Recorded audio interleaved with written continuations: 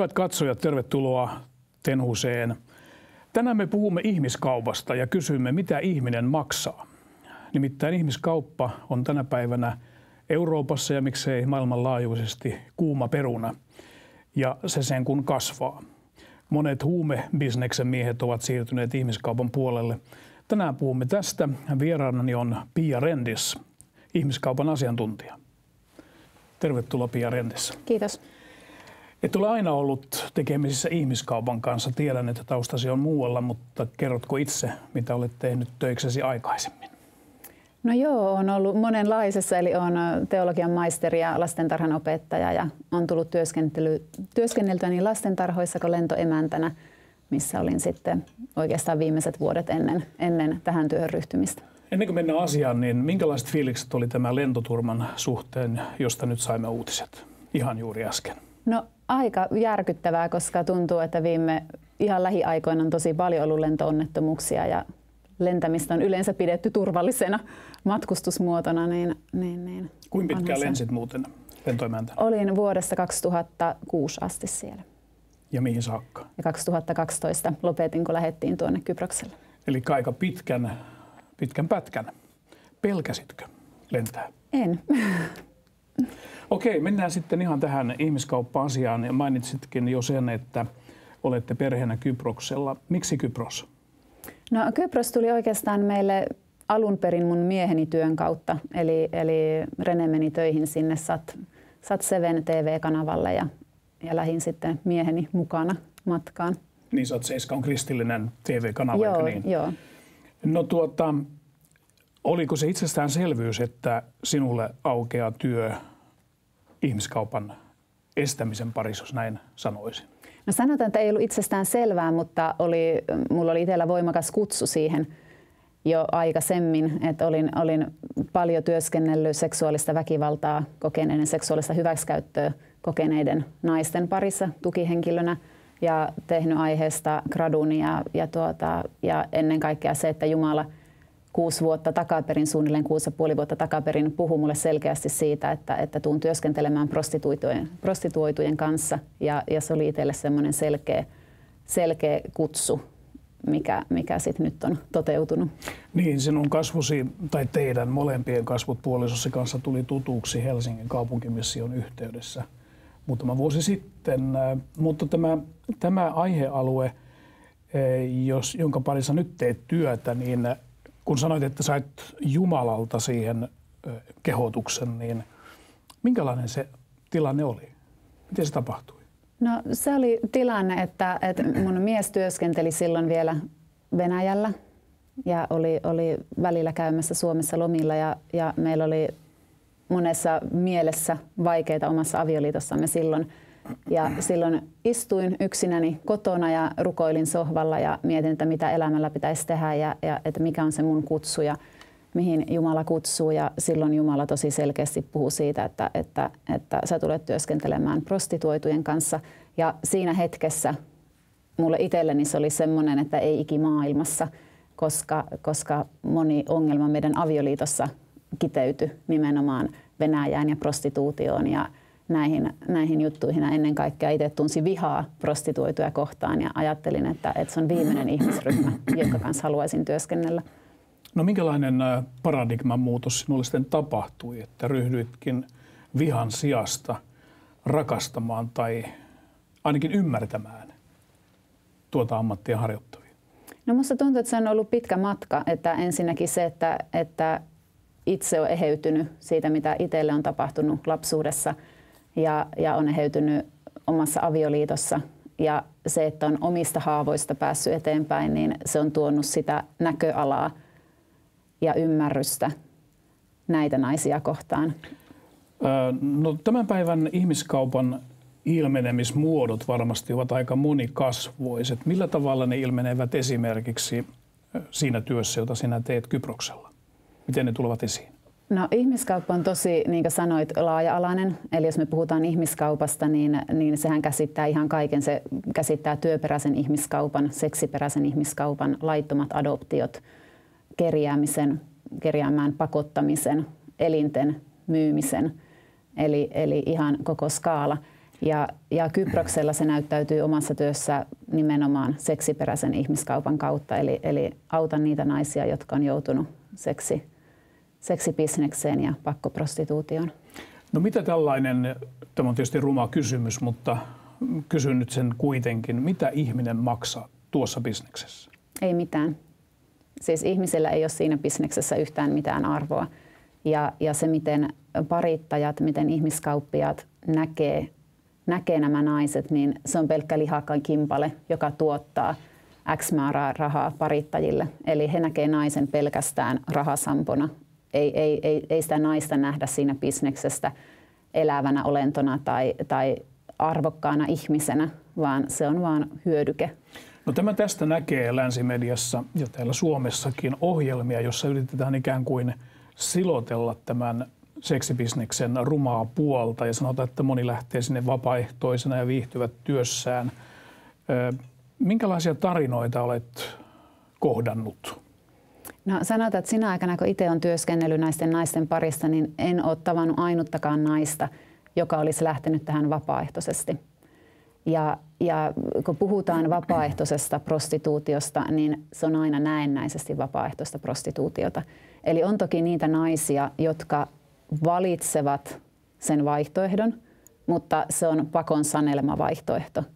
Eli itse olen esimerkiksi kohdannut naisen, jonka lapsi oli niin pahasti sairas, että ainut keino saada lapselle sairaalahoitoa, saada lapselle lääkkeet, oli se, että tämä nainen alkoi myydä itteensä.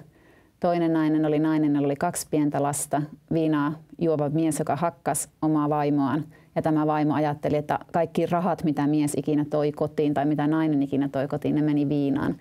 Ja lopulta nainen katsoi, että ainut keino selviytyä saada ruokaa on se, että hän myy itseensä. Ja, ja sit sitä kautta, kun hän in, ensin näennäisen vapaaehtoisesti myi itteensä, niin sen jälkeen tuli ihmiskauppiaat, jotka houkutteli hänet Kyprokselle ja hänet suljettiin sinne bordelliin. Aika hurja, hurja tarina. Onko olemassa minkäänlaista suojaverkkoa siis lainsäädännössä tai, tai jotenkin näille naisille Kyproksella? No ei ole. Ja se on niin oikeastaan tämä koko ongelma. Eli, eli siinä vaiheessa, kun poliisi tunnistaa ihmiskaupan uhrin, tekee ratsian bordellin yökerhoon johonkin pupiin ja pelastaa naisen, tuo hänet turvataloon, valtion turvataloon, joka on Nikosiassa, niin nainen jää omalla laillaan heitteelle sinne turvataloon, koska sosiaaliviranomaiset ei halua naista maahan. Mitkään viranomaiset ei halua naista maahan. Kyproslaiset ei halua tätä naista maahan. Kaikki haluaa lähettää hänet kotiin. Mutta sitten samaan aikaan poliisi painostaa naista jäämään, koska jos ei nainen jää todistamaan, niin poliisilla ei ole mitään, mitään todisteita, ei ole mitään mahdollisuutta saada näitä parittajia vankilaan. Aika hurja tilanne. Tiedämme, että Kypros on saarivaltio, joka on jakautunut kahteen osaan. Tapahtuuko tätä molemmilla puolin rajaa? Kyllä joo, ja Pohjois-Kypros on oikeastaan, niin kuin olen itse sanonut, että se on ihan villilänsi, mitä tulee ihmiskauppaan, koska Pohjois-Kyproksen puolella hallitus ja poliisi toimii parittajana. Eli, eli siellä nainen, kun hän saa, hänelle tarjotaan työpaikkaa Kyproksella, Immigration Office, maahan, maahanmuuttovirasto, ne leimaa naisen paperit jo ennen kuin nainen edes tulee Kyprokselle. Kun nainen tulee Kyprokselle, poliisi ottaa passin ja pitää sen puoli vuotta. Tämän jälkeen nainen viedään sukupuolitautitesteihin, vaikka nimellisesti paperilla hän on tullut tarjoilijaksi yökerhoihin. Ja ja nämä testit jatkuu siitä säännöllisesti. Nainen käy säännöllisesti kaksi kertaa kuussa parin viikon välein AIDS-testissä sen jälkeen hänet viedään poliisilaitokselle, missä kysytään, että haluatko jatkaa. Parittaja seisoo koko ajan vieressä ja poliisi, joka kyselee kysymyksiä, on itse asiassa mukana korvian myöten. Hän pitää naisen passin, hän on itse asiakkaana yökerhoissa.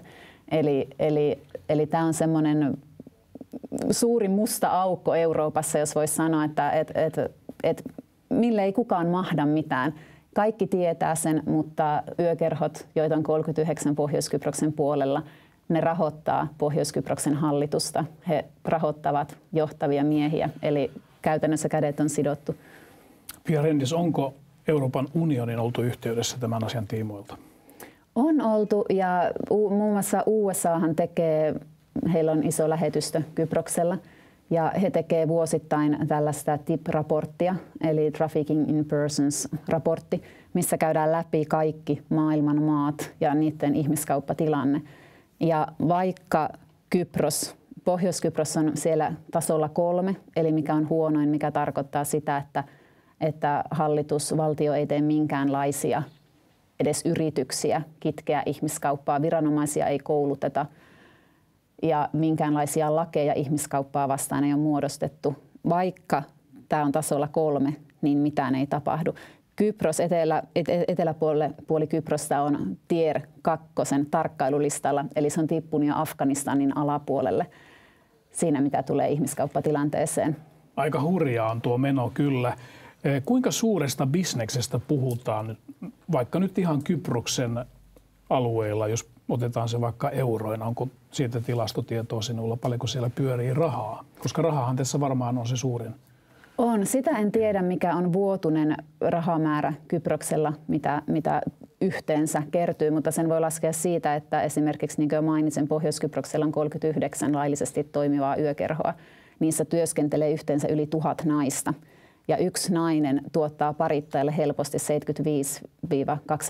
000 dollaria vuodessa. Niin puhutaan ihan älyttömistä rahasummista vuoden aikana. Minkälainen on sinun oma työpaikkasi tai, tai miten toimit? Meillä on oikeastaan kaksi, no voi sanoa tällä hetkellä kolme projektia. Eli, eli viime vuonna perustettiin, vuonna 2014 perustettiin ensinnäkin puolivälintalo, joka, joka toimii tällaisena eheytymispaikkana niille naisille, jotka vapautuu valtion turvatalosta. Eli he voi tulla muuttaa tänne puolivälintaloon, asua siellä puoli vuotta, jona aikana tarjotaan heille ilmainen ruoka ja koulutusta hengellistä, henkistä, mistä, psyykkistä apua. Mistä varat tällaiseen toimintaan tulevat? Ne tulee eri järjestöiltä, tulee meidän omalta lähettävältä organisaatiolta, sitten tulee Wellspringilta, joka on meidän yhteistyöorganisaatio, sitten yksittäisiltä ihmisiltä, jotka lahjoittaa rahaa. Ja, ja tämän lisäksi meillä on sitten Nikosiassa päiväkeskus, jonka perustin sinne, avasin viime syksynä.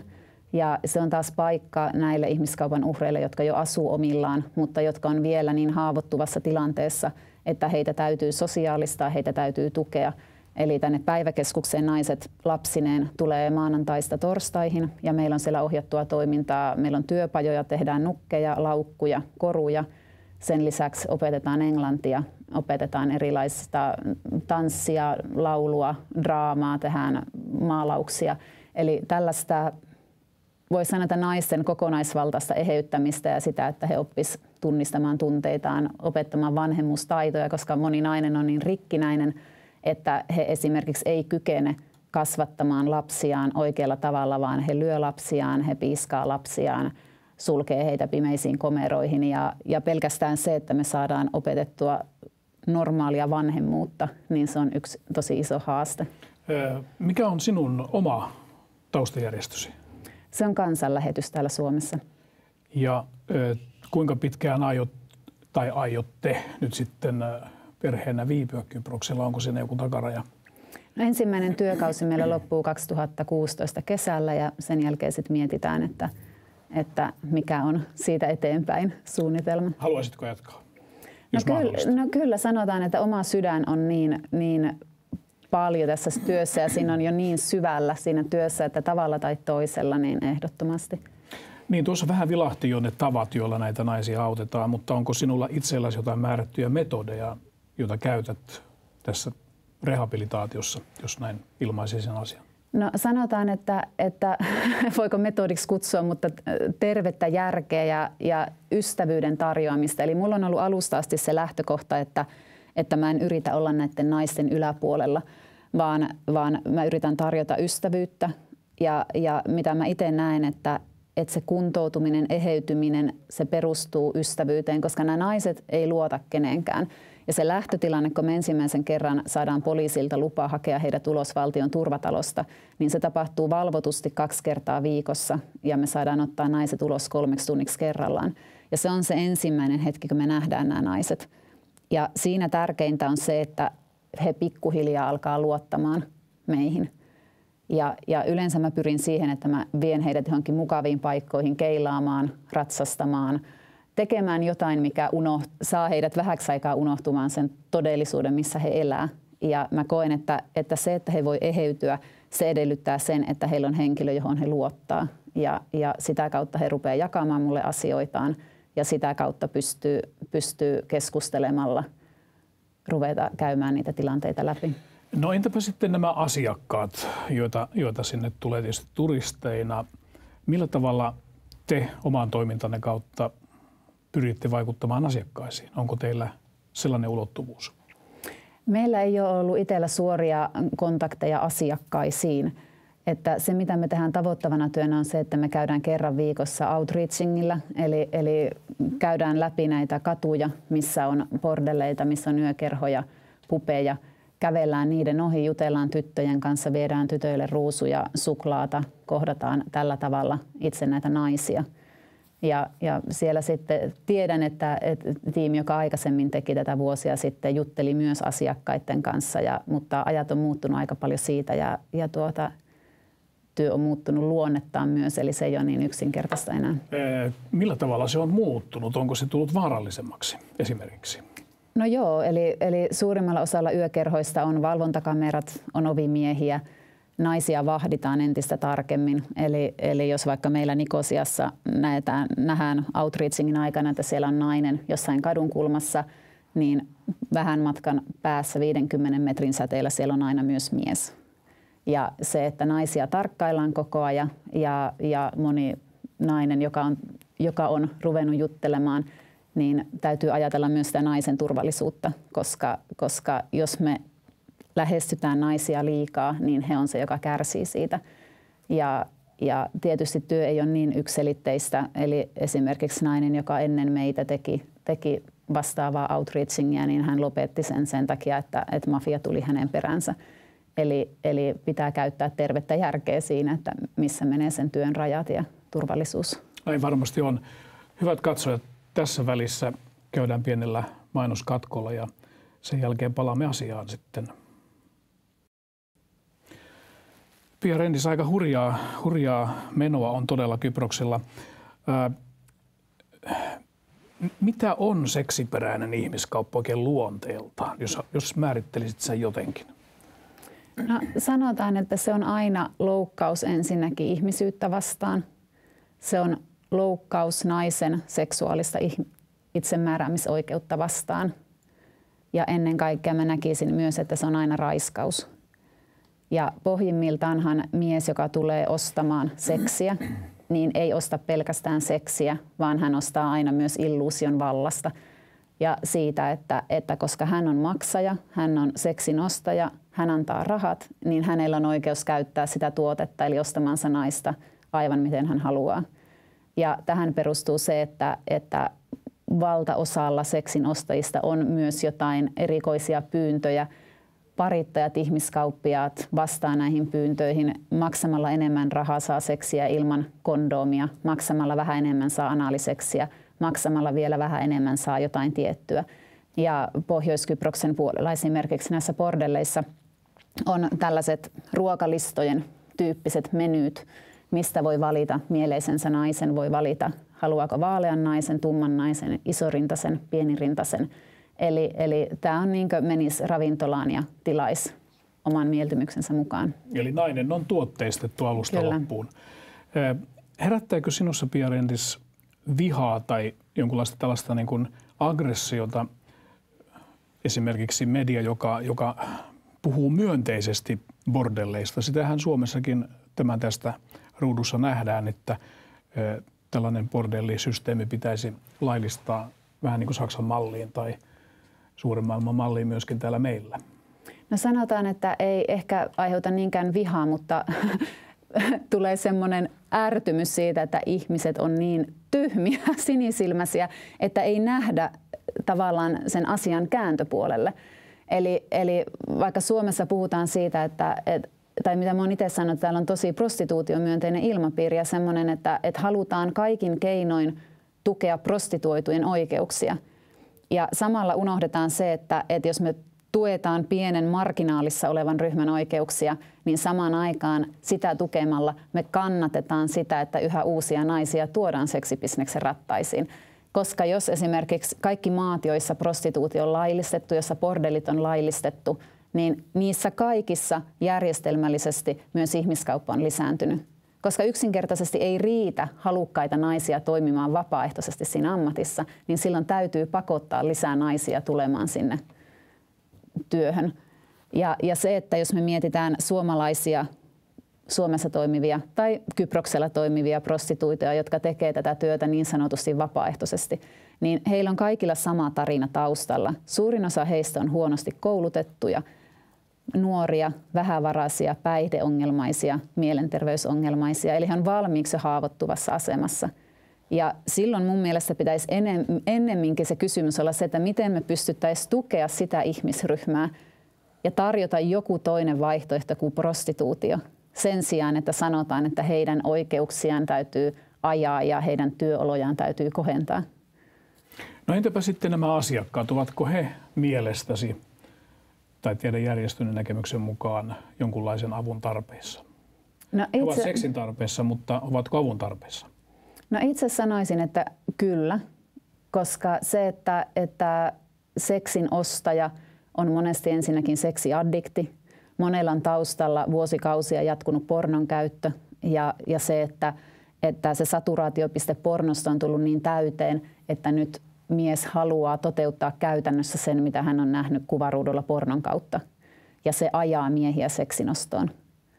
Ja totta kai on myös ryhmä miehiä, jotka ostaa joka tapauksessa seksiä ilman, että on se seksiaddikteja välttämättä. Se voi olla tällainen tilanne tekee varkaan tyyppinen tilanne. Se voi olla tilanne siitä, että mies kokee turhautumista omassa avioelämässään, mutta eihän se oikeuta miehiä ostamaan seksiä. He on silti vastuullisia niistä teoistaan. Mutta, mutta sanoisin, että ainakin jos on kyse seksiaddiktionista, niin pitäisi tarjota tukitoimia ja tukiryhmiä, jonkunlaista tukea näille henkilöille. No nyt kuulen ihan omin korvin tuolla jonkun ajattelevan näin, että entäpä sitten yksinäiset miehet, jotka eivät ole avioliitossa tai parisuhteessa, niin – Miten näet heidän asemansa seksuaalisesti? No sanotaan, että mun mielestä missään tilanteessa miehellä ei ole oikeutta toteuttaa omaa seksuaalisuuttaan naisen kustannuksella ja naisen hyvinvoinnin kustannuksella. Onko Kyproksella mies prostituoituja? Itse en ole törmännyt niihin tähän ilmiöön, enkä usko, että se Kyproksella on, koska Kypros on niin maskuliininen kulttuuri ja, ja tavallaan se maskuliinisuus, mikä on sisään ajettuna kyproslaisessa kulttuurissa, niin se oikeastaan kannustaa miehiä todistamaan sitä maskuliinisuuttaan seksin kautta ja naisten ostamisen kautta. Eli, eli mitä enemmän ostat naisia, sitä isompi mies olet. Ja, ja yhteiskunta pyörii pitkälti miesten varassa ja, ja miesten ehdoilla. Millä tavalla paikallinen media Kyproksella käsittelee tätä aihepiiriä? Käsitteleekö lainkaan? Käsittelee jonkun verran, mutta toisaalta Kyproksella on myös ajettu paljon alas, alas yrityksiä tuoda tämä yhteiskunnallisen keskustelun. Esimerkiksi vuosia sitten Kyproksella toimi tällainen ortodoksi pappi, isä Savas, joka itse asiassa perusti ensimmäisen turvatalon ortodoksikirkon sisään. sisään. Ja tämä toiminta alas ajettiin Kyproksen hallituksen toimesta, koska hallitus oli sitä mieltä, että tämä tuo liikaa huonoa mainetta Kyprokselle matkailumaana. Ja, ja paljon edelleen samaa asennetta. Itse olen käynyt puhumassa mm, seksiperäisestä ihmiskaupasta eri, eri paikoissa, paneeleissa ja seurakunnissa, erilaisissa keskustelutilaisuuksissa, niin lähes tulkoon poikkeuksetta se asia väännetään mukaan poliittiseen keskusteluun ja kyprossalaiset sanoo, että tämä johtuu Pohjois-Kyproksesta – että meillä Etelä-Kyproksella ei ole ongelmaa, kaikki ongelma tulee Pohjois-Kyproksen puolelta. Eli jonkunlainen puolustusmekanismi, mikä kieltää, halutaan ulkostaa tämä ongelma. Mutta sinun mielestäsi tuo ei ole totta, eli molemmissa sekä ei, pohjois että etelässä on ei, ongelmia. koska kaikki naiset, joita itse on tavannut nyt tässä vuosien saatossa, kaikki on pelastettu nimenomaan eteläpuolelta Kyprosta, sieltä yökerhoista, kapareista, pupeista, yksityisistä asuinhuoneistoista. Eli ongelma koskettaa koko saarta. No tässä puhuttiin äh, siitä, että asiakas voi valita ihon värin ja erilaisia mieltymyksiä. Mutta entäpä sitten näiden seksityön tekijöiden ikähaarukka? jos mennään ihan sinne nuoriin tyttöihin ja sitten jo aikuisiin varttuneisiin naisiin, niin kuinka laaja toi ikähaarukka siinä on? No, meillä keskimäärin uhrit, joita itse tavataan, on 20-30-vuotiaita ja nuorimmat on ollut 14-vuotiaita. Vanhin on ollut 40, mutta se keskiverto on aina siinä 20 ja 30 ikävuoden välillä. Ja sehän on myös seksinostajien keskuudessa tyypillistä, että seksinostaja haluaa aina nuorta naista. Eli että mitä nuorempi, sitä parempi. Ja eräs ex-prostituoitu, haastattelin häntä, niin sanoi, että yleisin kysymys, kun mies soittaa bordelliin ja tilaa itselleen naisen, yleisin kysymys ei ole, että paljonko tämä maksaa, vaan yleisin kysymys on, että kuinka nuori on teidän nuorin naisenne. Raakaa touhua. Mitä tapahtuu tällaiselle nelikymppiselle ammattilaiselle, joka on itseänsä joutunut markkinoimaan alistetussa asemassa koko elämänsä, niin sen jälkeen kun häntä ei enää kukaan halua, mikä on tulevaisuus? No, peli on aika raakaa, eli juttelin taannoin antitrafikpoliisin kanssa paikallisen. Ja hän sanoi sen, että siinä vaiheessa, kun naista ei tarvita, niin hänet yksinkertaisesti heitetään ulos. Ja, ja se tulevaisuus on siinä, koska suurin osa näistä naisista, jotka on käynyt läpi tämän koko mankelin, heidän ylipäätään se elinikäennuste on seitsemän vuotta siitä hetkestä, kun heidät ensimmäisen kerran myydään. Se selittyy AIDSilla, tosi korkeilla itsemurhatilastoilla, sukupuolitaudeilla, huumeilla, alkoholilla. Ja järjestelmällisesti nämä naiset, jotka tulee ulos ihmiskauppa ympyröistä, tulee he sitten nelikymppisinä tai kolmikymppisinä, niin heillä on vakavia traumoja. Ja todella monella on vaikeuksia selvitä edes sitä normaalista elämästä. He on psykologisesti vaurioituneita, heillä on painajaisia, pelkotiloja, masennusta, ahdistusta. Ja olen itse seurannut läheltä erään venäläistaustaisen naisen kamppailua. Joka kerta, kun mä menin hänen tykönsä tapaamaan häntä, hänellä oli viinapullo, pilleripurkki pöydällä. Ja joka ikinen kerta hän sanoi, että tapaan itseni. Ja, ja mä yritin sanoa, että et sä voit tappaa itseäsi, koska sulla on pieni poika, sun täytyy huolehtia hänestä. Ja nainen sanoi, että totta kai mä tapaan myös poikani. Ja mitä siinä voi tehdä? Me soitettiin poliisille. Poliisi sanoi, että heitä ei kiinnosta, koska nainen ei ole kyproslainen. Eli, eli se on tämä tulevaisuus karuimmillaan.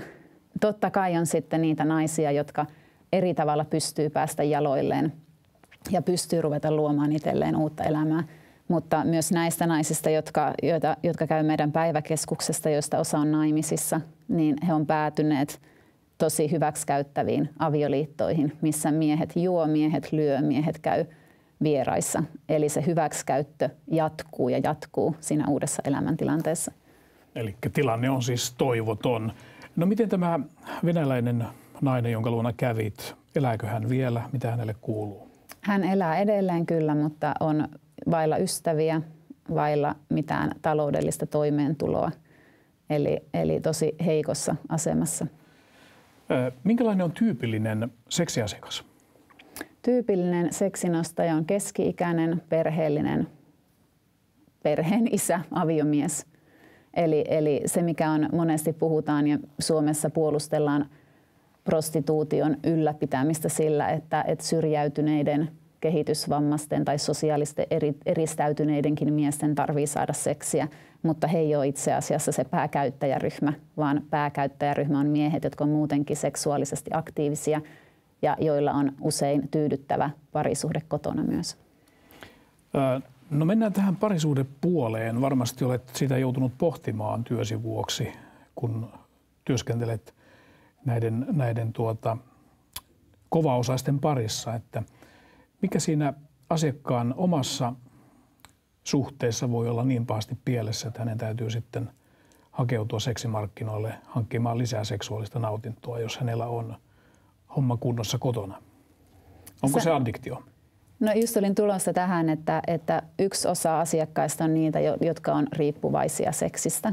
Eli, eli on se, seksiaddiktoituneita miehiä, jotka vain tarvii jatkuvasti ja jotka tarvis hoitoa siihen, siihen ongelmaan. Sitten on näitä tilanne tekee varkaan tyyppisiä, tyyppisiä tapauksia, että mennään kaveriporukalla Tallinnan risteilylle ja vaimo on jäänyt kotiin lasten kanssa ja miesporukalla päätetään, että nyt käydään kokeilemassa virolaista naista – Sitten on erilaiset komennukset. Tyypillinen seksinostotilanne on rauhan turvajoukot käyttää tasaisesti maksullisia naisia. Siitä on ollut paljon, paljon mediassa esillä esimerkiksi Kosovossa aikoinaan, missä YK on rauhanturvaajat itse asiassa ylläpitivät bordellia. Ja, ja se, että, että miehiä laitetaan tietty aika ilman seksiä tiettyyn paikkaan, niin tyhmyys kasvaa, tarpeet kasvaa ja porukassa tyhmyys tiivistyy. Ja kautta aikojen naisia on käytetty välineenä nimenomaan sodissa ja kriisitilanteissa. Silloin kun naiset on haavoittuvissa asemassa, niin heitä käytetään hyväkseen. Mutta toki on sit ihan normaaleita avioliittoja, missä mies voi kokea turhautumista siihen, että oma seksielämä vaimon kanssa ei ole kunnossa. Ehkä vaimo ei anna seksiä, ehkä ei ole keskusteltu, ei ole kohdattu toisten tarpeita ja mennään ohite siinä vaiheessa. Mutta siinäkin vaiheessa mä painottaisin miehen vastuuta, että sen sijaan, että päättää sitten mennä ostamaan seksiä, niin kannattaisi ensin jutella sen oman vaimon kanssa ja kysyä, että mikä mättää, koska yleensä siellä on taustalla aina joku syy, jos seksielämä ei suju. Olet siis sitä mieltä, että jos näin kysyy, niin vaimo todennäköisesti vastaa? No minä vastaisin. että uskon, että, että moni, moni vaimo vastaa, koska tästä tullaan taas tavallaan, mennään jo ihan toiselle osa-alueelle, mutta parisuhteeseen ja parisuhteen kommunikaation ja siihen, että, että jos parisuhde on kunnossa, niin myös seksielämä toimii. Ja jos seksielämässä on ongelmia, niin väittäisin, että silloin on ongelmia myös muilla avioliiton osa-alueilla. Mutta eikö kuitenkin ole näin, Pia Rennis, että jos, jos asiakkaat tulevat juuri tästä ryhmästä, niin pitäisi mennä nimenomaan sen parisuhdepuolelle myöskin auttamaan? Kyllä, ja pitäisi huomattavasti enemmän pitää luennoida ihmisille seksistä parisuhteessa, siitä mitä on terve seksuaalielämä – mitkä on miehen ja naisen tarpeet seksuaalis- seksuaalisella osa-alueella. Ja se on paljolti myös vaiettu. Toki nykyään tehdään paljon parisuhdetyötä ja myös näihin osa-alueisiin on kiinnitetty huomiota, mutta mä itse näen, että, että se on myös osa meidän yhteiskunnan ongelmaa, koska meidän yhteiskunta on niin äärettömän yliseksuaalisoitunut. Pienet, jo 11-vuotiaat pojat katsoo pornoa. 11-17-vuotiaat pojat on itse asiassa yksi pornon pääkäyttäjäryhmistä. Ja Mihin tämä tieto perustuu? Ne on tutkimuksia, mitä on Saksassa tehty viime vuoden puolella. Ja, ja jos mietitään sitä, että 11-vuotiaan alkaa katsomaan pornoa, niin mitä se tekee lapsen kehitykselle? Minkälaisen kuvan pieni poika, pieni tyttö saa seksuaalisuudesta? Siinä miehen tehtävä on ottaa nainen, määrätä naista. Naisen tehtävä on suostua auliisti kaikkeen, mitä mies sattuu keksimään – ja sehän on lähtökohtaisesti luo avioliittoa ajatellen jo täysin vääristyneen kuvan siitä, että mitä seksi on miehen ja naisen välillä. Ja samoin se, että nykyään meillä on yhteiskunnassa älyttömästi seksuaalista hyväksikäyttöä. Todella moni joutuu seksuaalisen häirinnän kohteeksi ja moni avio-ongelma, itse asiassa kun ollaan tehty paljon myös avioliittotyötä, niin monessa keskustelussa epätyydyttävän seksielämän taustalla on se, että vaimolla on seksuaalista hyväksikäyttöä taustalla – ja mies ei ole siitä tietoinen. Eli, siis tarkoitatko, että häntä on lapsuudessa käytetty Juuri hyväksi? näin. Ja, ja se, että, että jos on näin rikkinäisiä ihmisiä seksuaalisella osa-alueella jo siinä vaiheessa, kun mennään naimisiin, niin totta kai avioliitossa tulee ongelmia seksin alueella. Ja sitten sitä yritetään, yritetään paikkailla. Mies pakenee niihin pornomaailmaan, pornofantasiaan ja etäännytään entisestään toisistaan. Viivytään hetki vielä tässä, tässä avio kuviossa. Tuossa olet useamman kerran jo sanonut, että miehet haluavat seksiä ja ostavat seksiä. Toki on myös toisinpäin, naiset haluavat seksiä. Puhutaan nyt hetki siitä, minkälaista seksiä nainen haluaa. Sanotaan, että naisen peruslähtökohtana on se, että naisen täytyy luottaa mieheen, jotta nainen haluaa seksiä. Ja miehen täytyy arvostaa naista, jotta nainen haluaa seksiä. Ja se on lähtökohta. Eli, eli jos mies tulee kotiin töistä ja sanoo, että mennään naimaan, niin tuskin nainen lähtee, vaan ensin täytyy tehdä jotain voittaakseen se nainen. Ja miehen täytyy vallottaa nainen hyvällä tavalla, jotta nainen on valmis seksiin. Nämä neuvot varmasti ovat, ovat kullan arvoisia monille ja, ja tuota, oletko tästä aihepiiristä pitänyt luentoja? No itse asiassa ollaan menossa tulossa Suomeen huhtikuussa – ollaan menossa parisuhderisteilylle, missä luennoidaan nimenomaan oman mieheni kanssa seksistä ja tunteista ja siitä, että, että miten moniulotteinen asia seksi avioliitossa on ja miten paljon siitä voi nauttia vielä monen monen avioliittovuoden jälkeen. Eli, eli jotenkin minusta tuntuu, että meidän yhteiskunnassa on myös se, että kaikki sanoo, että seksi loppuu avioliitosta kolmen neljän vuoden jälkeen ja sitten se on tylsää, aina tehdään samoja juttuja, mutta itse on itse asiassa täysin päin vastasta mieltä, että seksielämä voi jatkuvasti parantua ja parantua. Ja, ja se on jotenkin se viesti, mitä haluaa välittää myös ihmisille. Ö, onko nyt niin, että seksuaalisuudesta on tullut ikään kuin tämmöinen urheilu- tai tekniikkalaji enemmän kuin tunteen ja toisesta välittämisen laji? On, ja sehän näkyy, näkyy esimerkiksi mun mielestä voimakkaasti nykynuorten keskuudessa. Eli on paljon, paljon sinkkuja, ja on paljon miehiä, yhtä lailla paljon naisia, jotka sanoo, että he ei halua parisuhdetta, koska se on niin vaivalloista ja että parisuhteen eteen täytyy nähdä niin paljon vaivaa, että he haluaa ennemmin vain yhden illan juttuja, he haluaa ennemmin vain seksiä silloin, kun heille itselleen sopii ilman mitään sitoumuksia. Ja totta kai myös tällainen ajattelumalli ja tämmöinen muutos meidän yhteiskunnassa ajaa miehiä etenkin sit ostamaan seksiä, koska sehän on valtavan vaivatonta. Sä voit tyydyttää sun omat seksuaaliset tarpeet, maksat rahaa, hoidat hommat ja sun ei tarvitse tunnetasolla sitoutua mihinkään. Eli vastuupuoli puuttuu hmm. täysin. No, mitä ajattelet ihmisistä, jotka sanovat porno- ja seksin ostamisen olevan he ok? No, he ovat väärässä. siis sanotaan, että, että mä en missään – kohtaa sinä aikana, kun on työskennellyt tämän asian parissa, niin olen nähnyt ainuttakaan vakuuttavaa perustelua sille, että se olisi ok. Koska niissä on niin paljon haittavaikutuksia. Minkälaisia? No jos me puhutaan nyt pornon katselusta, niin, niin ensinnäkin on tutkittu sitä, että miten porno johtaa kehällisesti seksinostoon.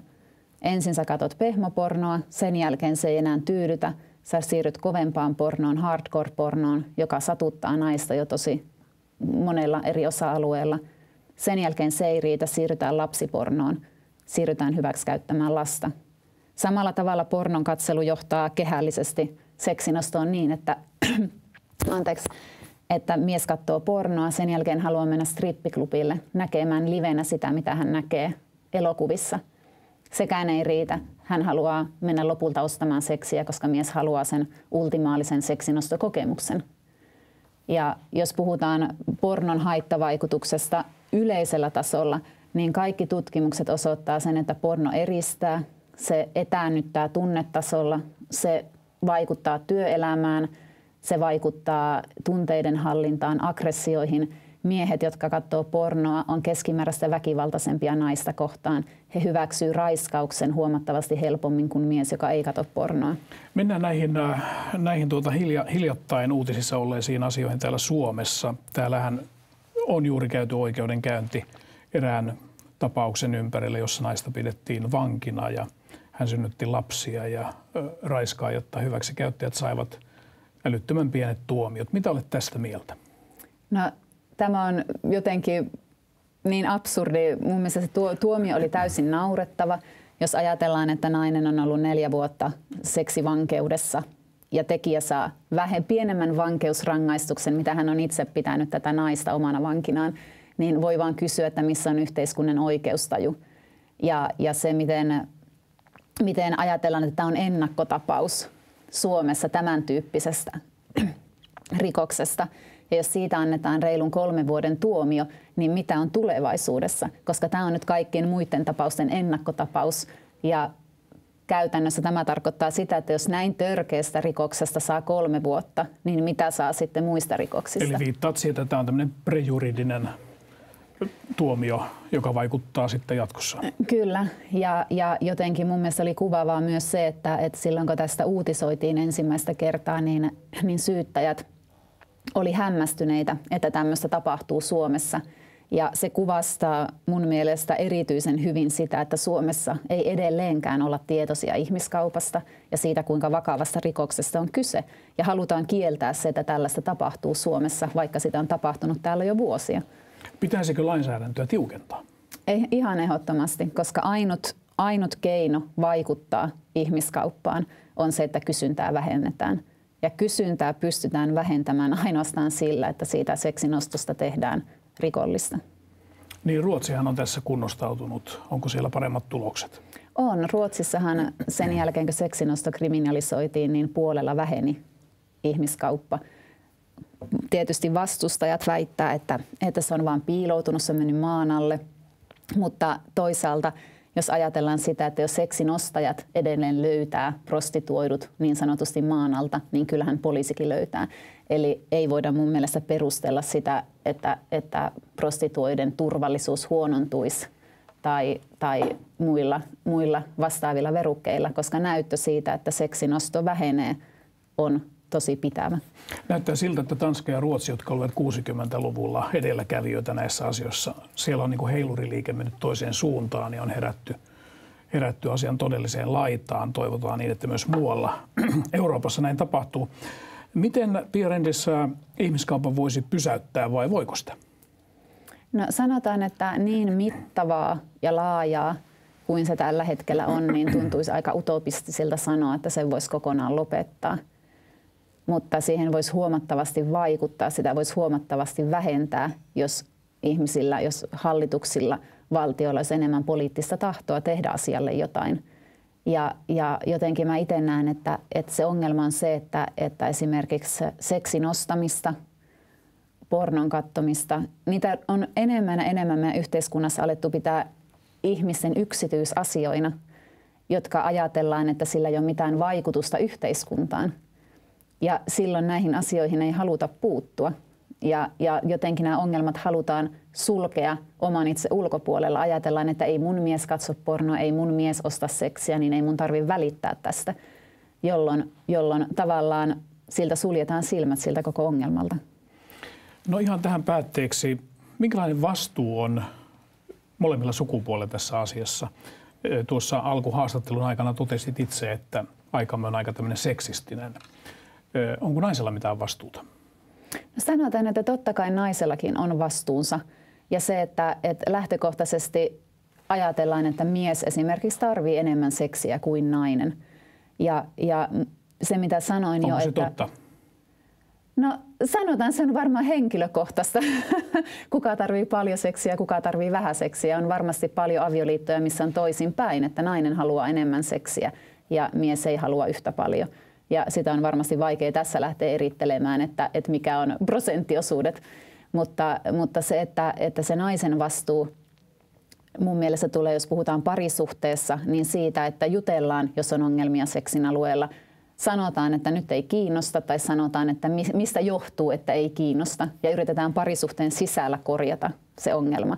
Mutta toisaalta yhteiskunnan tasolla naisilla on mun mielestä vastuu myös siitä, että naisten pitäisi rohkeasti ruveta puhumaan naisten oikeuksista. Ruveta puhumaan siitä, että et, et me ei tykätä siitä, että et meidät nähdään seksiobjekteina tai meidät nähdään vain miesten tarpeiden täyttäjänä.